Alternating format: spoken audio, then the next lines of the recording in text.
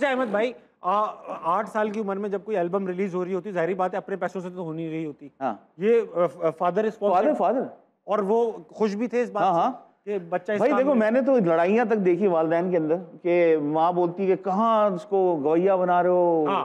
और ये बना रहे हो मेरा बच्चा इधर। और मैं बहुत ज़्यादा स्पॉइल्ड बच्चा था कि अब्बा ने बोला ये करना है मैंने कहा ये नहीं करना। अम्मा ने कहा कि पढ़ना है। मैंने कहा नहीं पढ़ना।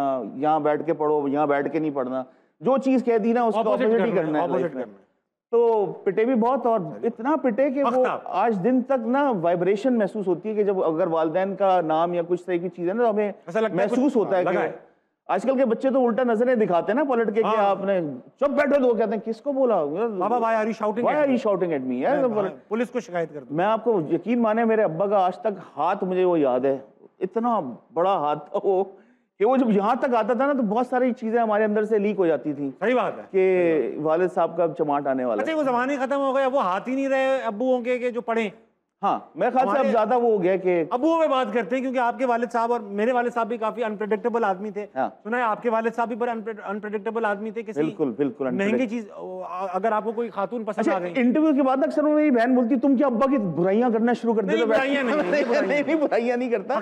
जो हकीकत है कि मतलब तल्ख थोड़े से थे स्ट्रिक्ट थे तो उसके हिसाब से मैं जो हकीकत है वो मैं बताऊँगा। लेकिन अ, सुना कि कभी कभी लड़कियाँ पसंद आ जाती थी छोटी उम्र में तो अब्बा उनको बुला लिया करते थे लड़कियों को। नहीं वो बड़ी उम्र में। बड़ी उम्र छोटी उम्र में नहीं बड़ी उम्र में। जैसे किसी को अगर अब्बा साथ बैठे हैं बोल दिया कि कितनी अच्छी लग रही है ना वो तो अरे भाई इधर आओ इधर आओ इधर बुला लिया हाँ। भाई ये काफ़ी देर से मेरे साथ बैठा है मुझे बोल रहा है कि आप कितनी अच्छी लग रही चलो बैठ के बात करो आपस में बात करो बात करो बात करो बिठा के बात करवाते थे। अरे बात करो हाँ। हम इतना शर्मिंदा घूमते थे कि इनके सामने कुछ बोलना भी ना।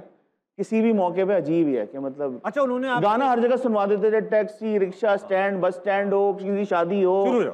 अगर दो बोल सुनाना जरा दो बोल सुनाना तो लपे आती है। खड़े हुए कहीं पे और सुना रहे हैं उनको ये वाला चक्कर। ये अब्बाओं को अच्छा लगता है कि वो अपने अगर उनके बच्चे में टैलेंट टैलेंट हो तो हर जगह हर हमारे जगह अब्बा भी ये करते हैं, भाई वो सुनाओ वो सुनाओ मैंने वो सुनाओ ये।